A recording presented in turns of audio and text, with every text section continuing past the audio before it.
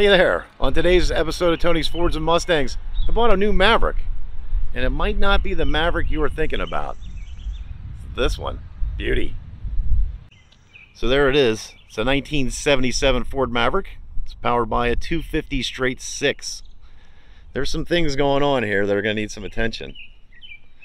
It does have the raised white letter Turbo Tech. It's a new brand for me. Never heard of Turbo Tech.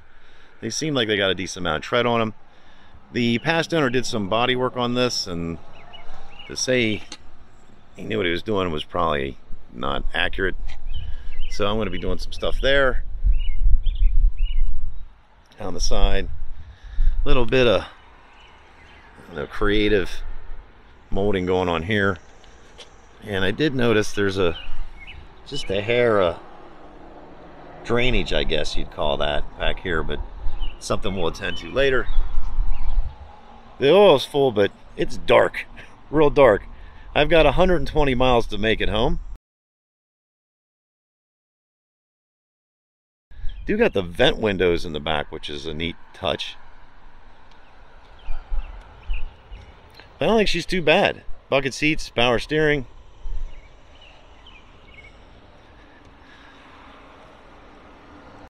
I'm hoping this is a really boring video and the next thing you see is me pulling into my driveway and that's about it. Here's the interior. It's very Spartan. The only gauges I got are those idiot lights there. So there's gauges going in here for sure. Mileage on it, 66,000. That's it. And that's original. It's on the title. And from the looks inside here, I, I think that's accurate. Pretty nice interior. Oh, there's a door buzzer. Oh, that's lovely.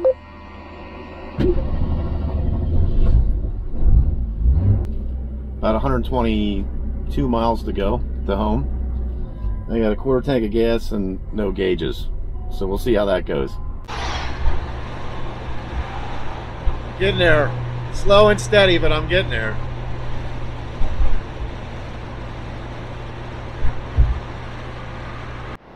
Well, I'm not the slowest car on the road.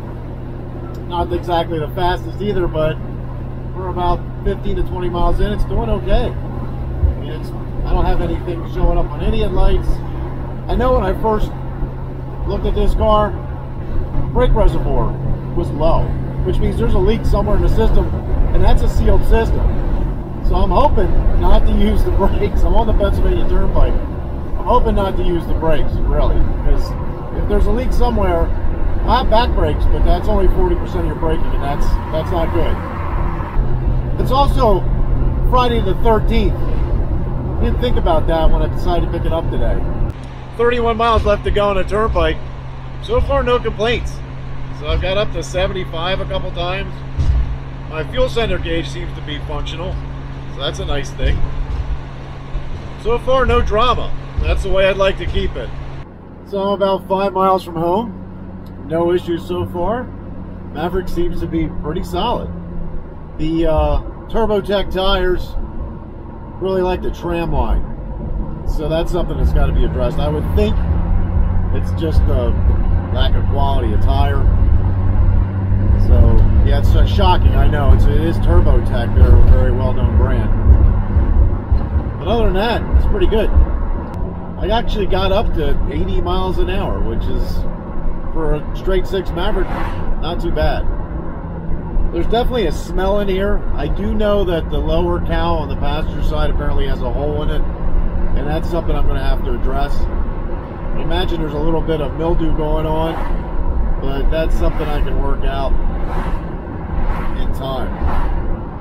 So I do plan to take this car back. I want to say it's former glory, but I want to take it to new heights. So it really actually looks very sharp. Yeah, this video not too exciting for you, but for me that's perfect. so I didn't have to have any roadside emergencies.